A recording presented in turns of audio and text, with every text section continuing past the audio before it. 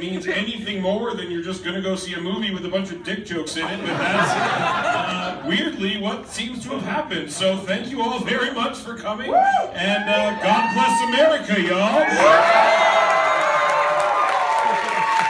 A big thanks to Phil Lord. If you guys know him, he did Lego. Yeah. He did, he did 21 Jump Street, 22 Jump Street. And he's yeah, on the committee here or whatever. He told us to come here. He He said helped. this was a theater. So Yeah. We're here because of Thank it. you, Phil. And you. So thank you. Hello, hey, hey, uh, I play Kim Jong Un. hey, I put my life on the line for you guys.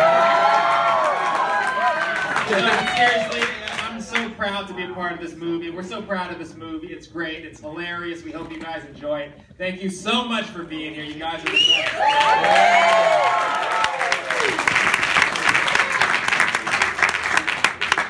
Um, to all you non-Jewish people out there, this is what we do every Christmas. we go to and so I'm just really proud to be a part of a movie that clearly transcends religion. and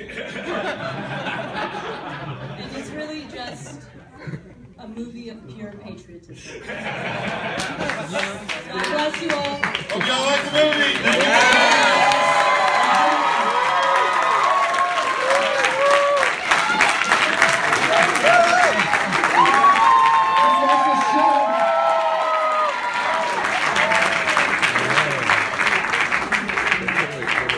What's the show of this movie. Happy holidays, everybody.